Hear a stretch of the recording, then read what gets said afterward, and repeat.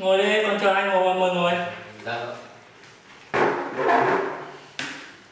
Tên, dạ, Nguyễn Lê Hoàng. tuổi, Ừm, 22. nói to lên. Dạ, 22. Mày là bố tao, mày lên giọng đấy. Dạ. Thằng tôi gì?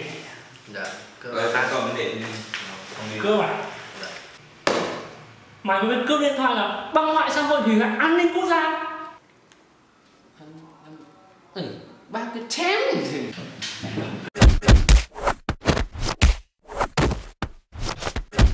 Thôi, chưa làm được.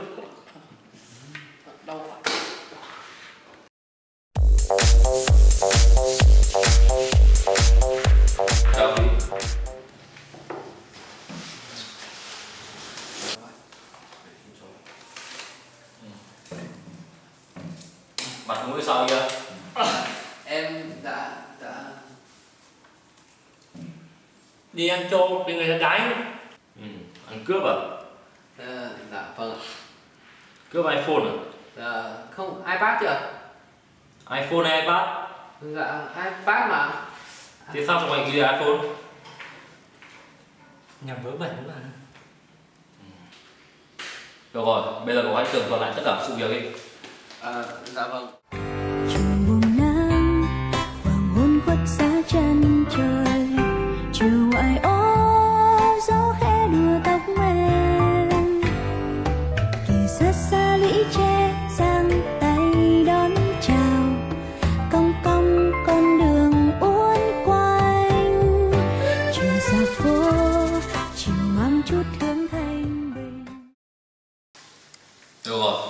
vậy cậu cướp iPad để làm gì? Ờ, dạ, em cướp cho bố ạ. Bố. Xinh không? Yêu nhau lâu chưa? không, người yêu em đấy. Đây, đây.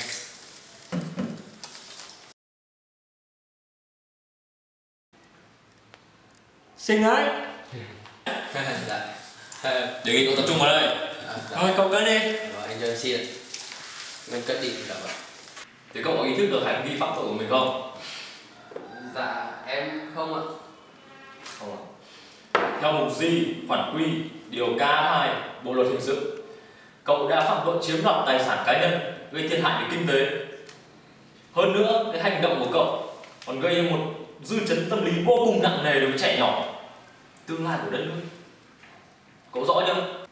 Dạ. Không, em vâng ạ, em biết lỗi rồi. Em sẽ không tái phạm nữa.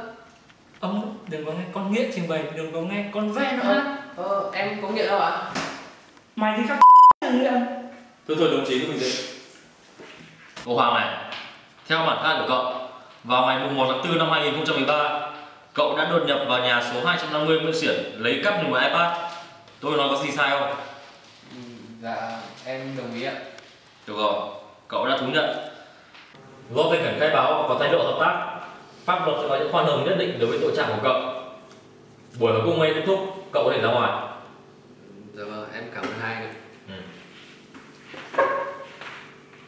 Cầm người ấy ra này. Dạ, em em xin phép.